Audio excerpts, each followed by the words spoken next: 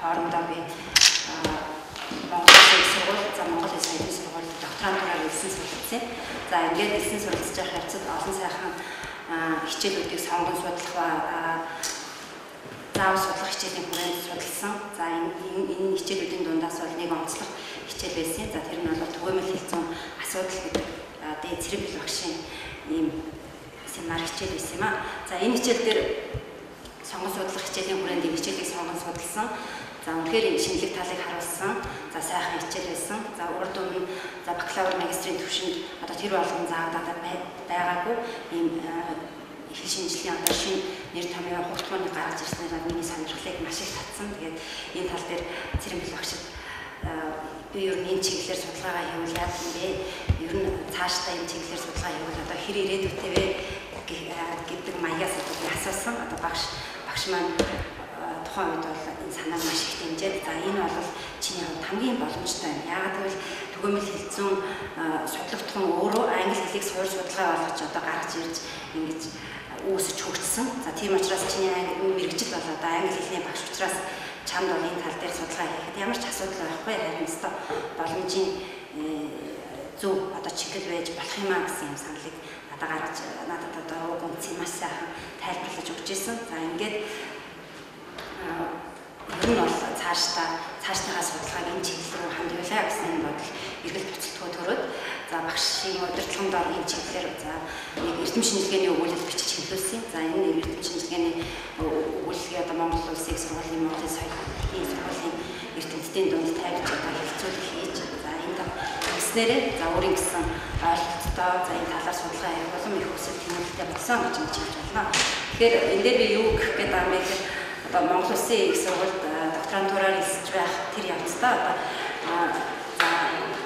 багштайгаа уулзаж за судалгааныхаа сэдвийг одоо цааш цаашдынхаа одоо ч гэсэн өөрчлөж байгаа судалгааны сэдвийг зөв сонгож авсандаа одоо хүртэл их баяртай явдаг юм аа. За ингээд цаашдаа одоо тухайн жилдээ 2008 онд Монгол Улсын юу Ухнарын солонгос улсын засгийн газрын докторийн хөтөлбөрт тэтгэлэг зарлагдсан. За энэ тэтгэлэгт за мэдээж энэ хэрэг за хит хитэн шалгуур үнээр шалгуулт байсан. За ингээд тэнцээд очсон очсон. За хэдийгээр одоо англи хэлний олон улсын жишгээр одоо англи хэлний TOEFL IELTS-ийн оноо хэлний шалгуурын нэг байсан ч гэсэн цаашдаа бол Солонгосын засгийн газар санхүү журжаагийнхаа хувьд Солонгостой сурах судалгаа үргэлжлүүлэх боломжийг бүрдүүлэх үүднээс за Солонгос хэлийг заавал одоо судлах ёстой мó. За эхний нэг жил Солонгос хэлний бэлтгэл хамрагдах ёстой мó гэсэн ерөнхий шаардлага тавьсан.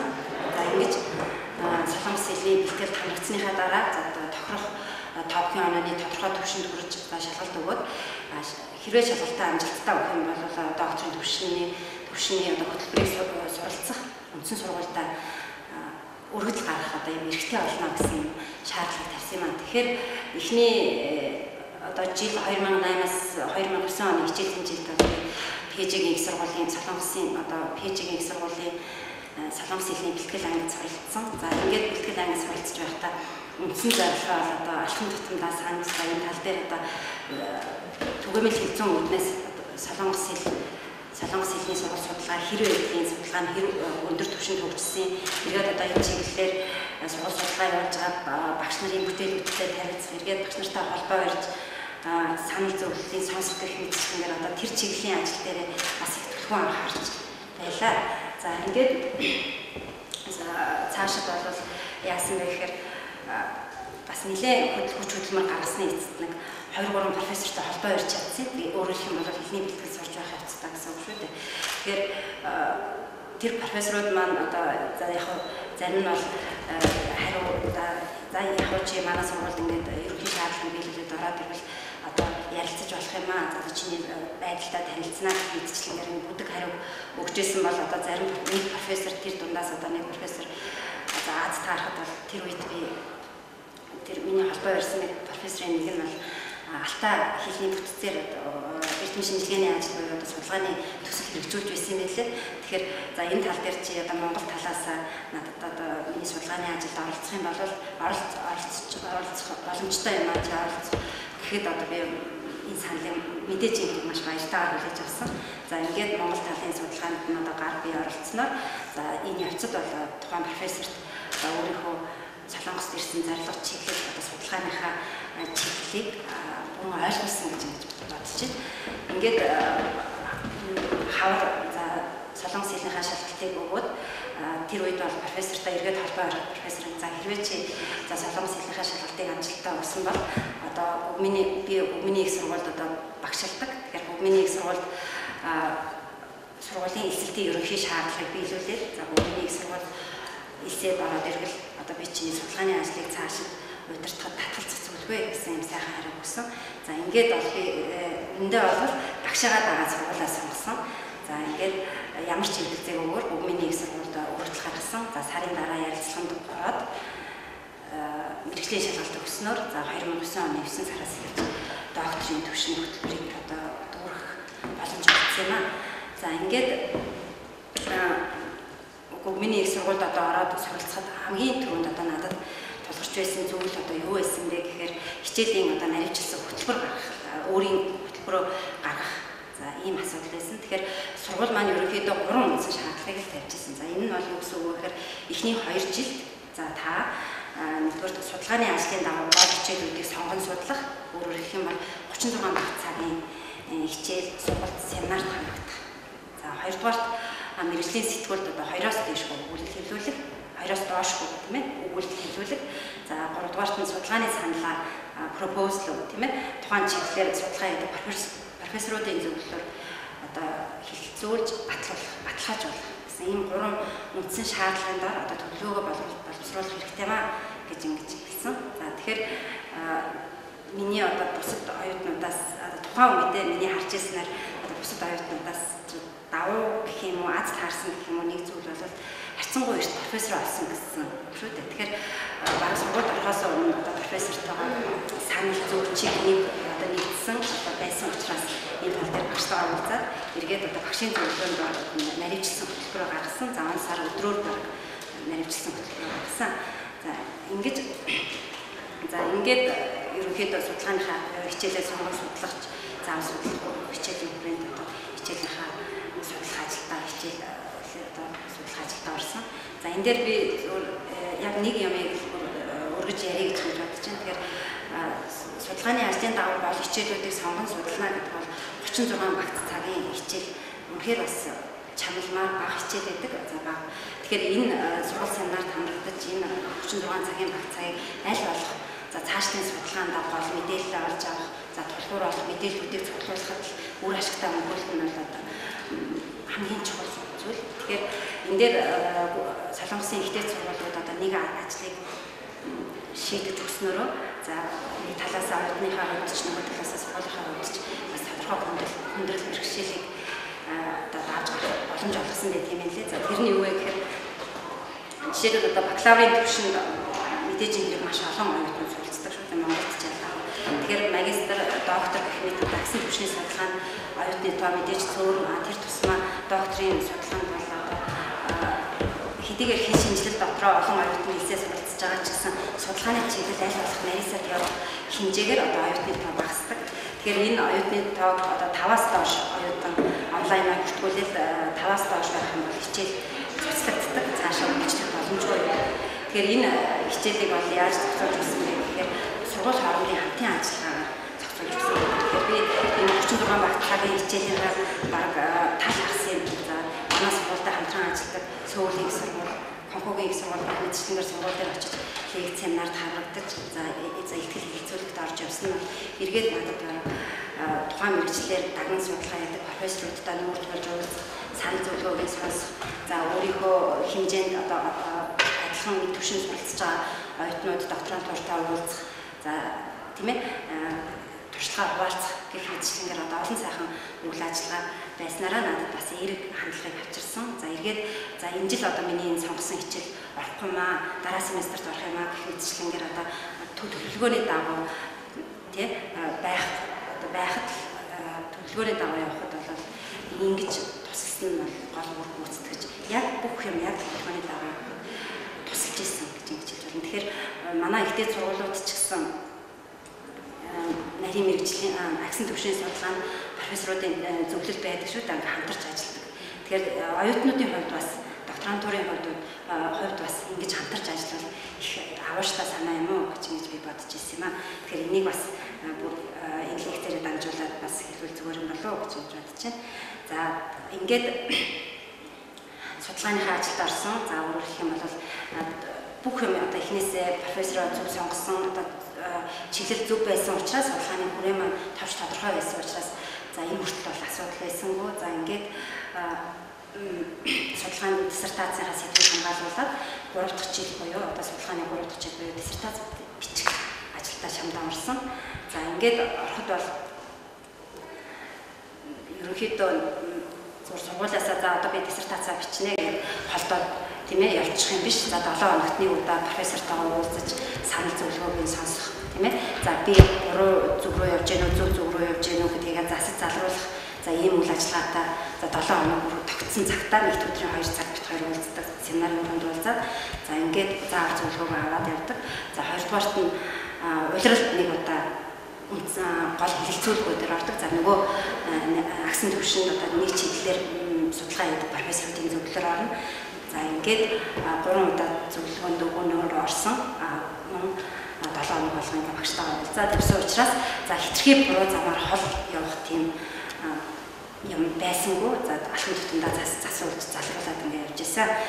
За ингээд цаашаа одоо судалгаа хоёр дахь ярианы хоёрдугаар хэсэг буюу судалгааны чиглэл буюу диссертацийн танилцуулга гэсэн хэсэгтээ би үндсэн гурван зүйлийг ярья гэж бодож байна.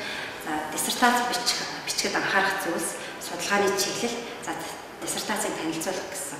За богино хугацаанд тэр болгон дэлгэрэнгүй ярих боломжгүй учраас та бүхэнд аль болох тавч тодорхой ойлгомжтой маягаар ингээд яриад явъя. За за мэдээжийн хэрэг диссертац бичихэд одоо анхаарах зүйл гэдэг ингээд ярих юм бол той томшгүй олон юм ярих нь мэдээж а гэхдээ зөвхөн миний хувьд одоо миний өөрийн туршлагаас ингээд харж байгаа хоёр юмыг л одоо би танарт голлож анхааруул зүгээр юм уу гэж ингэж бодсон. За өнгөрсөн удирдалтаас диссертац бичих арга зүй гэдэг энэ лекцээ би бас дагнасан яг энэ сэдвээр тавьж исэн. Тэгэхээр яг өнөөдөр бол энэ лекц гол миний зорилго биш учраас зөв ингээд нэг хоёр зүйлийг анхаараасаа онцлог дэлхийн зан гэж бодож байна.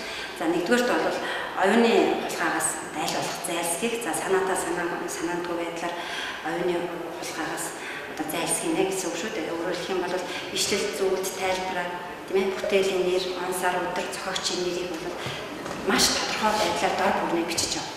За хоёрдугаарт нь үг үсэг санаа бүр логик дараалтаа. Тийм ээ. Өөрөөр хэлэх юм бол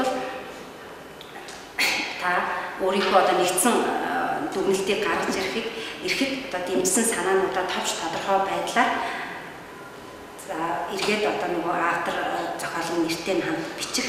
За эргээд эсвэл одоо таны нэгдсэн дүгнэлтийг тийм ээ нэгдсэн дүгнэлтийг дүгнэлт хийхэд одоо саад болж байгаа асуудлыг илээ тайлбарлах тийм ээ ийм маягаар өөрөөр юм бол энд юу орж болох вэ гэхээр за хин нэгний одоо бүтээлүүд дээр иргэд ажиллаж болно шүү дээ. Тэгэхээр таны дүгнэлтэнд таны дүгнэлтэнд за өмнө урд өмнө одоо бүтээл дээр дурддагчжсэн одоо ямар нэгэн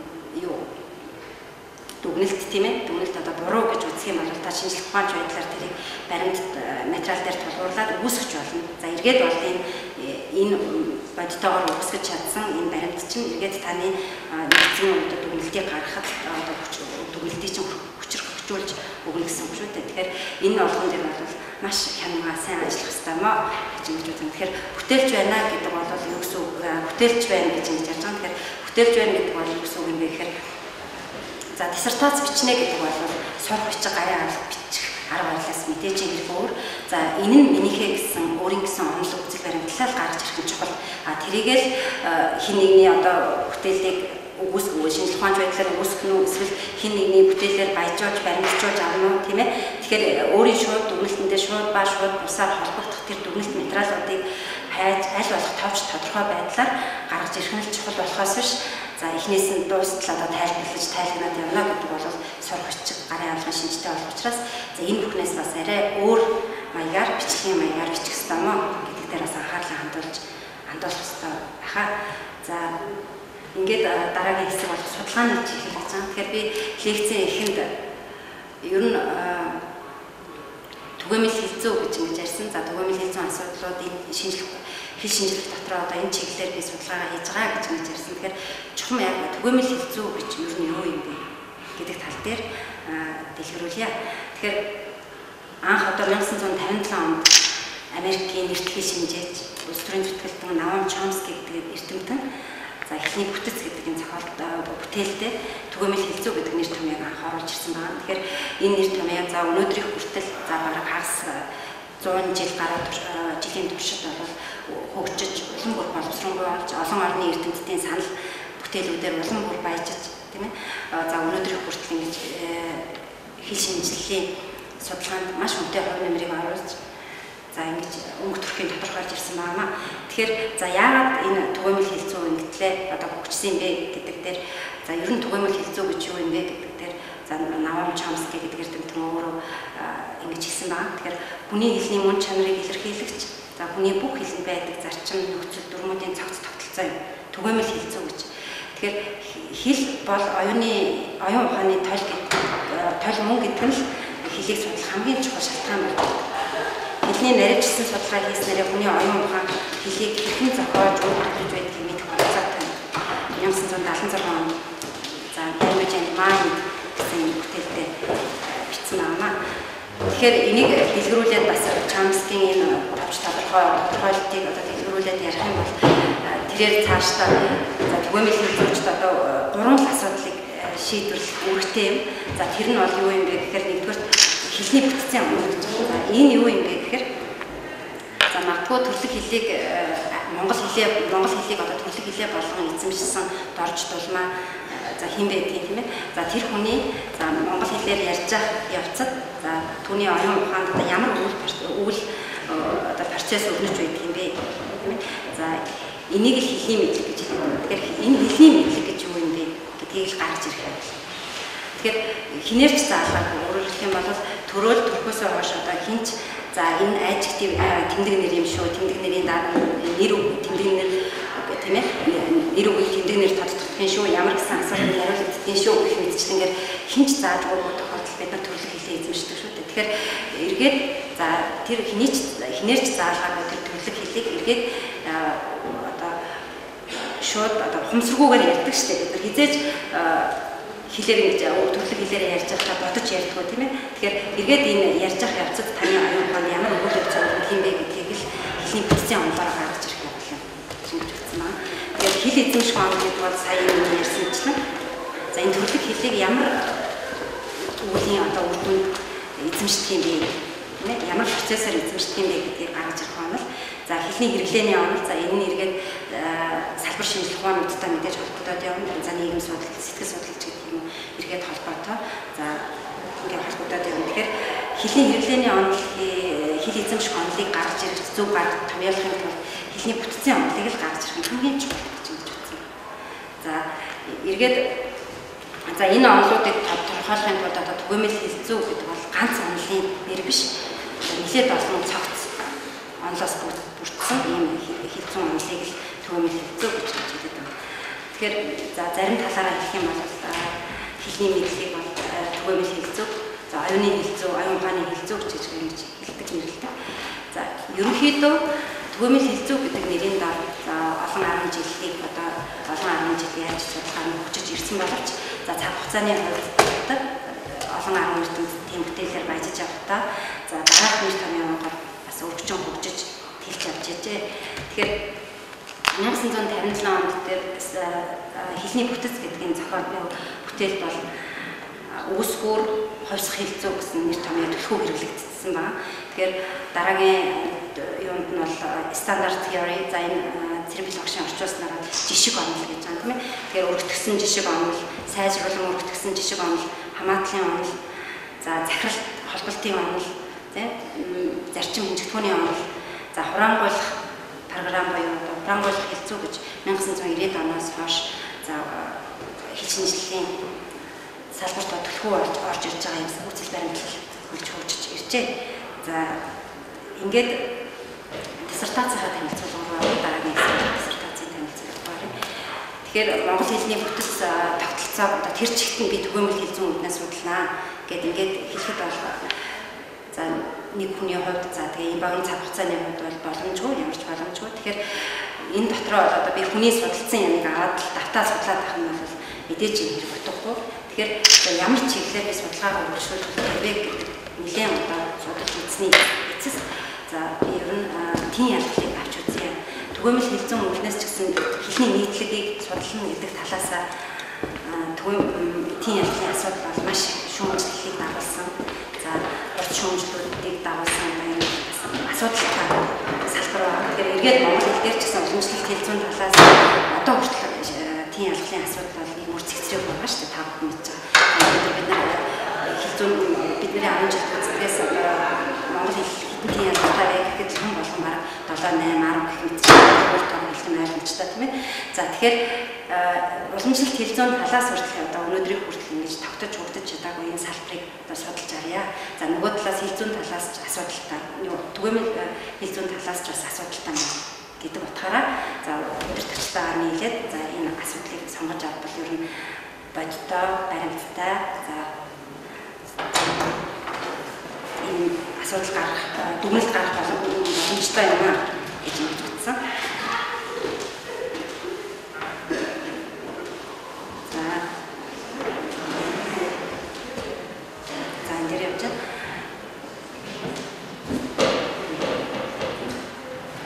Тэгэхээр ерөнхийдөө диссертацийнхаа сэдвийг за study on case in English in Mongolian гэсэн сэдвээр авч байгаа. Тэгэхээр удирдахч маань Өнжүү яв. Диссертац хамгаалсан сургууль маань миний их сургууль шинжлэлийн тэнхэм 2013 оны 2 сард хамгаалсан маань. Тэгэхээр зүгээр яг ингээд өнгөрсөн хойно за юм болгон бүтэмжтэй болсон хойно эргээд би ингээд хаад шулуун дартан замаар явсан мэт одоо ингээд надад хүртэл тийм сэтгэл төрж байна сонсож байгаа юм. Тэгэхээр энэ дээр би зүгээр бас энэ чиглэлээр судалгаа хийх бас үндсэн хоёр нэг том асуудал байсан. За одоо хүртэл таны нэг лекц уншаа сууж байгаа тулгарч байгаа нэг асуудал бол эргээд монголчлоход одоо нэр томьёоны онолт байна. Тэр нэр томьёоны онолт бол одоо хүртэл за энэ салбарт хамгийн шинэ энэ талаар судалгаа хийгээд за төгөөмөл хэлцүүн чиглэлээр ингээд судалгаа үргэлжлүүлэхэд за наад зах нэр томьёоныхаа асуудал дээр нэгдсэн нэг үзэл баримтлалт бүрхэн чухал юм аа гэж үзэж байгаа. Өөрөөр хэлэх юм бол би одоо хилцүү граммар, transformational grammar, үс тийм ээ generative grammar гэх мэтчлэнгээр grammar гэдэг үгийг маш их дурдж байгаа ч гэсэн за энэ үг бол бидний өмнө үзэжсэн уламжлалт хилцүүн судалгаанд маш их хэрэглэгддэг. Гэхдээ за агуулгын хувьд бол маш ялгаатай. Ялгаад наад захын л одоо энгийн энэ үгийг авах. Өөрөөр хэлэх юм бол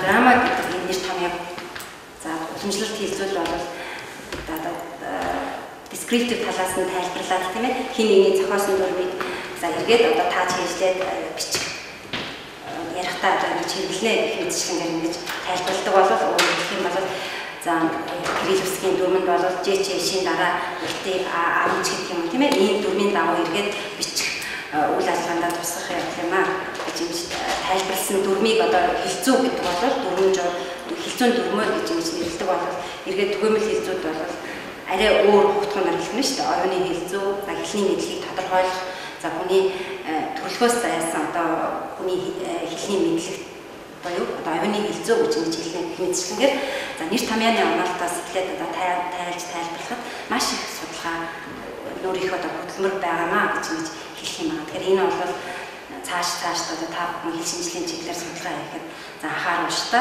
нэг юм том зүйл юм аа гэж ингэж хэлэх юм аа. За за ерөнхийдөө ингээд диссертацийн танилцуулга маань эхэлж байна да. За ер диссертац маань ерөнхийдөө 5 бүлэгтэй. За эхний бүлэг бол танилцуулах гэсэн байна. Тэгэхээр миний дипломыг одоо диссертацийг одоо уншаад за эхний бүлгийг уншсан хүн бол за би диссертацийг цааш нь дэлгэрүүлж унших хэрэгтэй байна, хэрэггүй байна. Миний судалгаанд шууд одоо миний судалгаатай шууд холбогдох юм байна. Эсвэл миний судалгаанд хамаагүй байна гэх мэтчлэн дүгнэлт гаргах. За эхний шат одоо тийм зорилготойгоор нэгдүгээр бүлгээ бичсэн. Өөрөөр хэлэх юм бол тийм ээ ийм ийм асуудлыг авч үзсэн. За ийм дүгнэлт гаргасан. За ийм ийм судлагдхууныг одоо хамруулж үзсэн гэх мэтчлэн товч танилцуулах гэсэн үг шүү дээ. Тэгэхээр энэ дээр за иймэрхүү маягаар нэгдүгээр бүлгээ одоо бичсэн юм аа. Бичгийг зарсан юм аа. За хоёрдугаар бүлэг бол case licensing algorithm буюу за тийм алхлын амралтын алгоритм гэсэн ерөнхий сэдвийг авсан. Тэгэхээр миний диссертацийн ажил бол ерөнхийгөөс тусгаараар чиглэсэн. За эхний бүлгийн дүгнэлт хэсэг бүлэг болгон дүгнэлттэй. Эхний бүлгийн дүгнэлт хэсэг дараагийн бүлгийн одоо эхлэх сэтэл нь болж өгсөн. За ерөнхийдөө тусгаараа улам нарийнсан шинжтэй ийм ерөнхий зохион байгуулалтаар бичигдсэн. Тэгэхээр за эхнийхд бол ер нь бол түгээмэл хилцэн үүднээс тийм яллыг яаж авч үздэг юм бэ? Эхлэний нийтлэгийн талаас тийм яллыг яаж тайлбарлах ёстой юм бэ гэдэг асуудлыг оруулж ирсэн. За энэ дээр хоёрдугаар бүлгийн нэг нэгийн нэг нэгийн хоёрдугаар зүйл дээр бол та бүхэн харж байгаа англи хэл дэх тий ялгын систем, монгол хэл дэх тий ялгын систем гэх мэтчлэнгээр ингээд харьцуулаад тайлбарласан байгаа. За энийг өнгөц харсан хүн бол за баг тий ялгалгүй шахуу англи хэлийг яхаараа одоо тий ялгалаар тийм баян монгол хэлтэй харьцуулж тавьдаг үлээ гэж ингэж бас гайхаж магадгүй. Тэгэхээр өөрөөр хэлэх юм бол түгээмэл хэл зүүн нэг үндсэн суурь хутгуун нь юу вэ гэхээр хэлийг өнгөн бүтц ба гүн бүтцийн хүрээнд нааж судалгаараа ажиллах гэж ингэж.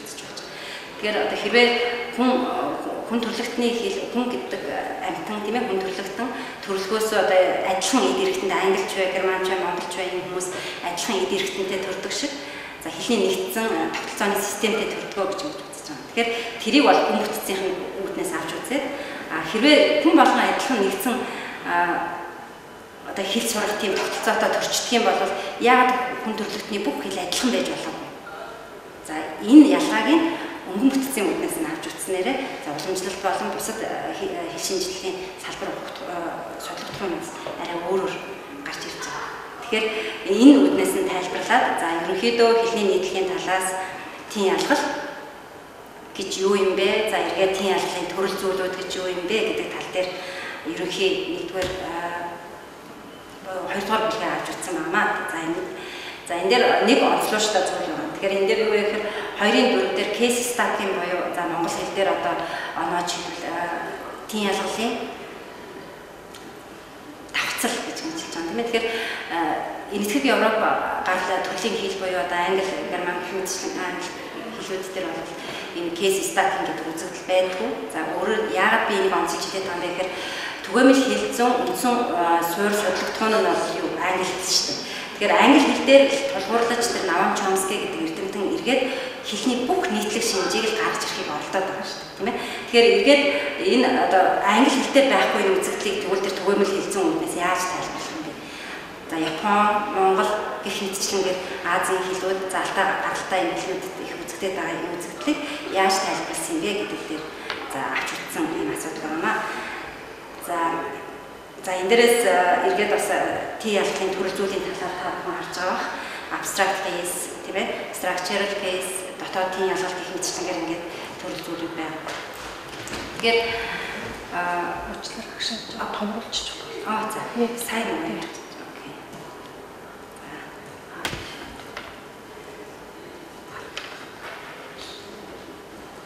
За ингээд 2 дугаар бүлэг маань ерөнхийдөө өндөрлөж байгаа.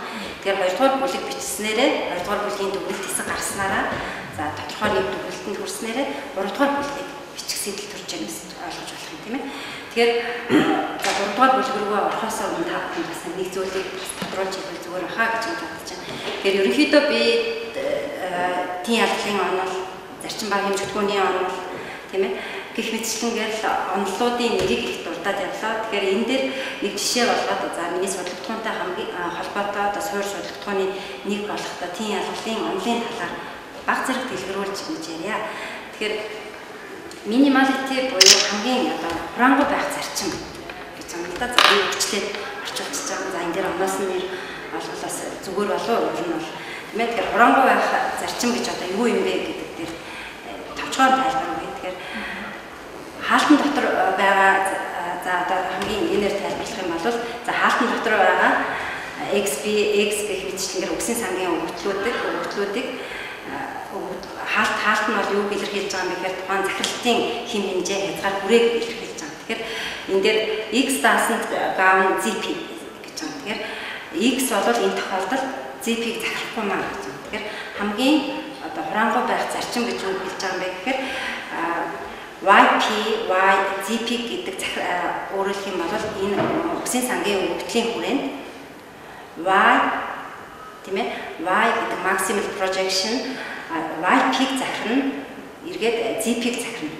А гэтэл өөрийнхөө захиралтын хүрээнээс гараад нөгөө хүрээнд очиж X-ийг ярьж байгаа шүү дээ X нөгөө хүрээнд очиж Z-ийг захирахгүй маа гэсэн юм ерөнхий. Тэгэхээр энэ дээр ямар үнцээр одоо энэ хамгийн хурангуй байх зарчмыг гаргаж ирвэ гэхээр ерөнхийдөө хамгийн одоо өгүүлбэрийн бүтцийн хувьд хамгийн ойр байх үйлчлэл хамааралтай байх үүднээс тийм ээ шууд хамааралтай холбоотой байх үүднээс хэлний хурангуй байх зарчмыг гаргаж байгаа. Тэгэхээр энэ хурангуй байх зарчим дээр тулгуурлаад дахиад эргээд за захиралтын за сая энэ дээр x даасанд гаун zp гэж байгаа шүү дээ. x zp-г захирахгүй гэж байгаа. Тэгэхээр захиралтын зарчим гэж юу гэж байгаа. Захиралтын онол гэж юу гэж байгаа гэдэг дээр эргээд өөрөөр хэлбэл хүний бүх хилэнд байдаг нийтлэг шинжийг л одоо тийм ялгалын хэв шинжийг гаргаж ирэхийг чиглэсэн онол гэж юм ойлгож байна. Тэгэхээр захиралтын онол гэдэг нь бол government гэдэг дараагийн байна тийм ээ. Тэгэхээр альфа дараах тохиолдолд бетаг захирна гэж байна. Тэгэхээр өөрөөр хэлэх юм бол A, B, C гэсэн гурван нөхцөлийн аль нэг нь байхгүй тохиолдолд альфа, бета захирах боломжгүй. Гуруулаа зэрэг байжж бетаг захирна. Өөрөөр хэлэх юм бол альфа За maximal projection буюу үгсийн сангийн айг захирж байгаа тохиолдол. А тэр нь заавал үгсийн сангийн ай байх хэрэгтэй. За нөгөө тохиолдолд нь альфа за constituent C C commands-ээс constituent commands гэдгийг товчилсан хэлбэрээр за альфа бета C гэсэн тохиолдол. А гуравдугаарт нь за хамгийн хураангуй байх зарчим үйлчилсэн тохиолдол гэсэн. За энэ гурван зарчмыг зарчмын үндсэн дээрээс гавментийн зарчим буюу гавментийн онол захиралтын онол гарч ирж байгаа.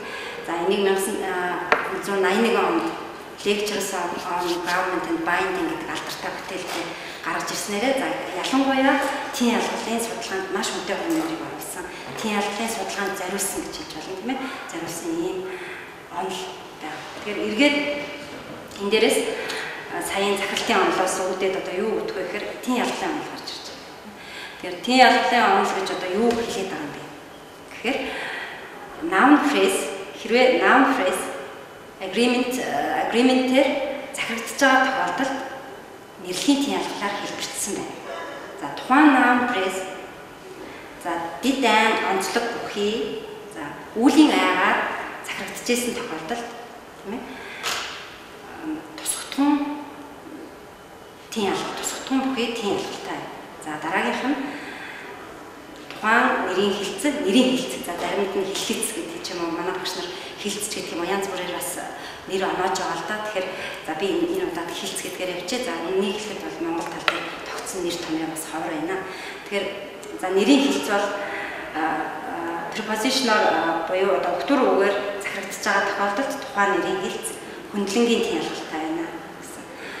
За тухайн хилц нэрийн хилцэг За нэрийн хэлт дотор maximal projection-ыг хамт агуулж байгаа тохиолдолд хариалгын тийм ялгалтаар хэлбэрчнэ. За мөн түүнтэй адилханаар за энэ дээр нэршлийн бус гэж орчуулж байгаа юм да. Хасах nominalization гэж тийм ээ. За нэршлийн бус өгөгдлөөр тодорхойлогдож байгаа тохиолдолд тухайн нэрийн хэлц бол дотоодын ялгал боيو за inherently case market байх юм аа гэж ингэж ерөнхийлөн томьёолсон байна. За энийгээ тухайн одоо 81 оны тэр бүтээлтэй за энэ бол хэлийг нийтлэг талаас нь харсан тийм ялгалын онол юм аа гэж Тэгэхээр эргээд энэ дээр би бас та нарт ойлгуулъя гэж бодоод за энийг нөгөө талаас нь харсан нэг ойлгомжтой тодорхойлолтой байна л да. За тэрний юм гэхээр ой хоолой гэдэг эрдэмтний 1999 онд гаргасан ийм томьёол байна. За тэрний гэхээр кейс фильтр гэж байгаа тийм ээ. Тэгэхээр энэ цэцэгт тэмдэглэгээр бол noun phrase-ийг noun phrase биш юм аа. Noun phrase бол дөрмийн бус байна гэж ингэж тэмдэглэж байгаа. Тэгэхээр хэрвээ тухайн noun noun phrase буюу нэрийн хэлцэн phonetic content-тэй байсан ч гэсэн тийм ээ за үйлбэрийн бүтцэд ороод явахдаа phonetic content-тэй байлаа ч гэсэн тийм ялгалаар хэлбэржээгүй тохиолдолд тэр нэрийн хэлц биш юм аа noun phrase биш юм аа гэсэн ийм товч буу тодорхой байдлаар кейс фильтрийг одоо кейс гэж юу юм бэ гэдгийг гаргаж ирэхийг оролцсон байна тийм ээ. За эдгээр үндсэн утгуудыг л одоо тийм ялгалын оноллын үндсэн одоо суур үзэгдлүүд гэж ингэж хэлээд байна. За ингээд 3 дугаар бүлэг рүү эргээд оръё.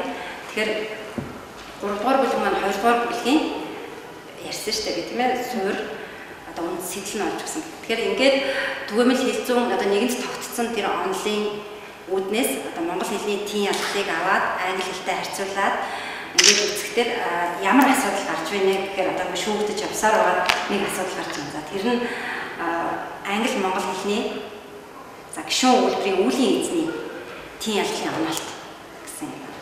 За энэ дээр одоо юуг авч үзэх вэ гэхээр монгол англи хэлний за нэрийн хэл тодтох гişүүн үйлдвэрдэг үйлдвэр нэрийн хэлц гэж юу вэ? За гэдэг тал дээр одоо онцолж ярьсан. Хэлэх юм бол тодтгон холбох нөхцлөөр нөхцлөөр холбогдсон гişүүн үйлдвэр. Гişүүн үйлдвэрийн үлийн эзэн англи хэл дээр тийм ялгалын амлалт нь ямар байд юм?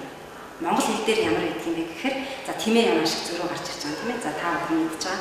За энэ дээр эргээд одоо үнслээ үнслээ бичиж байгаа. За энэ дээр судалгаагаа өргөжүүлсэн.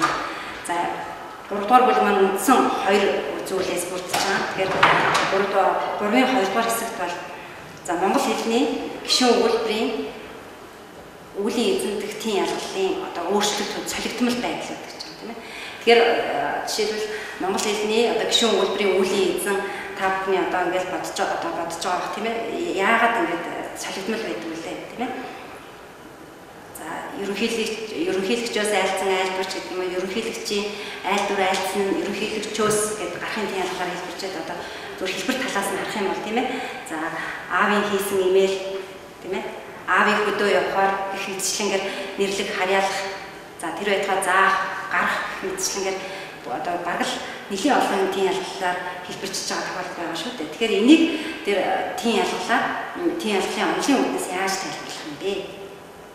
Англи хэлэнд ийм үзэгдэл байхгүй шүү дээ. Тэгэхээр энийг э, тэр э, Наван Чомски болон одоо түүний залгамж э, холбоо тэр шавнаар бусад одоо хэл зүйчид, түгээмэл хэл зүйчид яаж тайлбарлаад байгаа юм бэ гэдэг асуудал одоо монгол хэлний судалгааны үднээс гарч ирж байгаа.